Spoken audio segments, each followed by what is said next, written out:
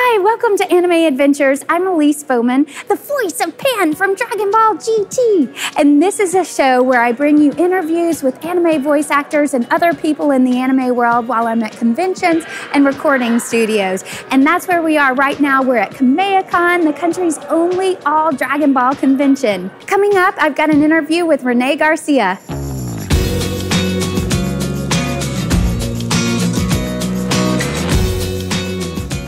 I'm with the one and only Rene Garcia. We're at KamehamehaCon. Hello, how are you? I'm Rene Garcia, the voice in Spanish of uh, Vegeta and many other characters.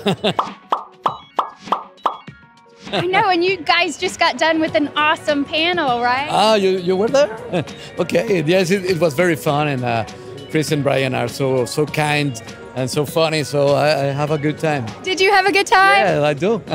So when you come out, like, can you even believe the crowd and the number of people and just the energy in that room? well, you know, I've been in, in these conventions for about uh, 16 years.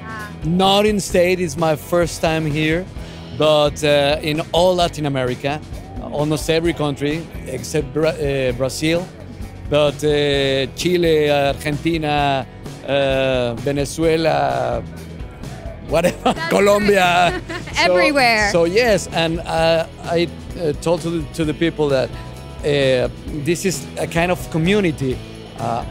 Generational thing. I, I don't know how to, to say it, in English. no, you're right. It is such a community, and people get so bonded over Yeah. this. You are so right, and it brings everybody together in such a unique and special way. I think. Yes, I think so.